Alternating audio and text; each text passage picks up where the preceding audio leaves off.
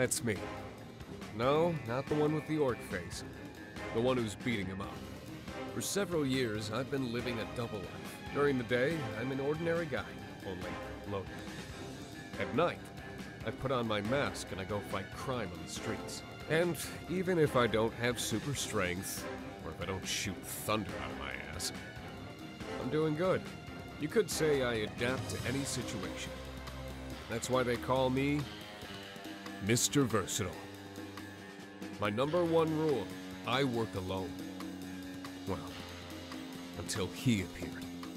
There he is, that miracle of masculinity, sculpted in pure muscle, Captain Crush. He can shoot rays of pure destruction. His body is incredible power. It's almost like he's a living god. Lately, he's been calling me in whenever there's trouble. We're starting to get some buzz as a new superhero team. What people don't know is, for us, bashing villains is just foreplay. Every victory is a chance for us to celebrate. That's the only reason I tolerate this team up. Sure, it's nice to have someone to laugh with while you break some jawbones, but he's just another back to cover. Looking out for someone else is too much responsibility. I have my hands full taking care of myself. I don't need a partner.